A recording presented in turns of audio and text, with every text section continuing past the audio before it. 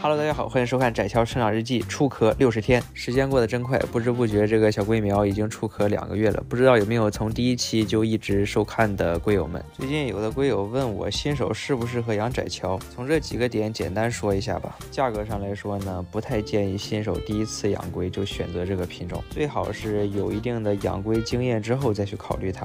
它的价格跨度也是比较大的。当然，我相信一般购买窄桥的龟友们在购买之前都。会做一些了解，虽然因为价格问题不太建议新手龟友们刚开始就养窄桥，但是还是可以跟大家说一些其他方面。之前就说过它并不难养，需要加温，对水的适应能力比较强。大多数的窄桥呢天生就比较凶，不是很怕人，这就决定了它们的互动性比较好。当然它的发色和纹路的变化都是比较独特的。总的来说可玩性还不错。好了，本期视频就到这里。喜欢我的视频，大家可以点关注。我是鱼司机，咱们。下期再见，拜拜。